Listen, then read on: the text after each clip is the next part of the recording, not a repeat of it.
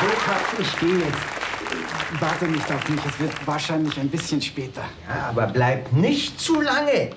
Sonst verpasst du das Sandmännchen.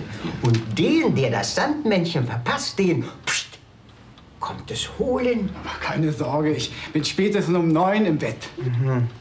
Dieses Fest, diese Fete da, auf die du gehst, triffst du dich da wieder mit dieser hübschen Sabine? Ja, wir unternehmen jetzt schon seit fast einem Jahr eine ganze Menge zusammen. Siehst du genau darüber, was ihr da so alles nämlich unternehmt. Setz dich hin, Ja, wollte ich mal mit dir reden.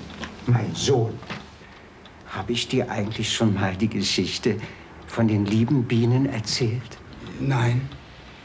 Bei den Bienen ist es nämlich so, wenn ein Bienenmann und eine Bienenfrau zusammenkommen, verstehst du, auf ganz bestimmte Art und Weise zusammenkommen, Ja, Paps? das heißt ja, Paps, die beiden kommen sich also näher, immer näher, äh, ganz konkret, verstehst du?